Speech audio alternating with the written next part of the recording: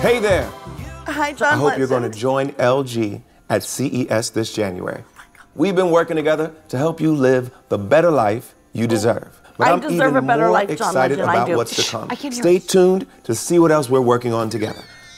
At LG CES 2022, I've heard lots of great things, and I really can't wait. LG CES 2022, we gotta check that out.